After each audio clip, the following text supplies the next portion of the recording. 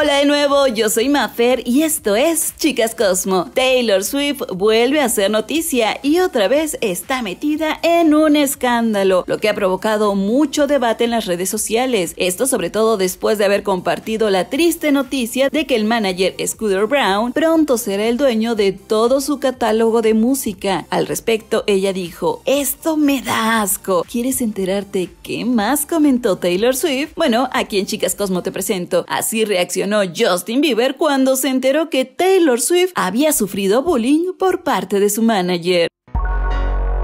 Así como lo escuchas, Taylor Swift se dirigió la tarde de ayer para hablar con todos sus seguidores y dar su punto de vista al respecto de lo que estaba viviendo. Y ella comentó, este es mi peor escenario. El motivo, bueno, se dio a conocer que el señor Scooter Brown, quien por cierto es manager de Justin Bieber, Kanye West, Ariana Grande, Demi Lovato, entre muchísimos otros famosos, decidió adquirir por nada más y nada menos que 300 millones de dólares la disquera Big Machine Label Group, empresa en donde Taylor Swift había trabajado hasta hace poco y con los cuales había grabado sus más que exitosos seis primeros álbumes. Así que, en pocas palabras, Scooter ahora es legalmente dueño de parte de la música de Taylor Swift. Por su parte, en su historia de Instagram, Taylor decidió comentarle a todo el mundo cómo se sentía con esta noticia y además, al parecer, también se aseguró de que el público pues tuviera un poquito de rechazo hacia Scooter, creando así también un poco de polémica. Taylor literalmente escribió, durante años pedí, supliqué por la oportunidad de ser dueña de mi trabajo. En cambio, me dieron la oportunidad de registrarme en Big Machine Records y ganar un álbum a la vez, uno por cada uno de los que ya tenía. Me alejé porque sabía que una vez que firmara este contrato, el fundador de Big Machine, o sea, el señor Scott Borchetta, vendería el sello, vendiéndome a mí también y obviamente a mi futuro, así que tuve que tomar la decisión insoportable de dejar atrás mi pasado. Algunos datos divertidos sobre la noticia de hoy es que me enteré sobre la compra de mi catálogo por parte del señor Scooter Brown. Todo lo que podía pensar era en el incidente y lo manipulador que este señor había sido conmigo durante tantos años. Recibí bullying de Scooter y es algo que no quiero repetir. Curiosamente, todas estas palabras llegaron obviamente a los oídos de varios famosos, y entre ellos a los de Justin Bieber, quien es amigo sumamente cercano de Scooter. Y pues Justin no tardó en publicar un mensaje al respecto. En este decidió disculparse por las heridas que él o que Scooter en algún momento pudieron haberle ocasionado a Taylor Swift en el pasado, pero también decidió aclararle la manera en la que él veía las cosas y que sinceramente se encontraba sumamente descontento por el hecho de que Taylor Swift había decidido publicar esto en Instagram y no resolver las cosas simplemente en persona y hablarlo de frente. Justin piensa que es mejor dejar de lado las redes sociales y resolverlo como cualquier otra gente lo haría, hablándolo directamente. La publicación en Instagram de Justin Bieber sobre cómo se disculpaba con Taylor Swift por la forma en la que su manager había actuado, pues al parecer lo único que hizo fue encender el ánimo entre la gente y crear distintos grupos de apoyo, algunos que estaban de acuerdo y apoyaban a Taylor Swift y otros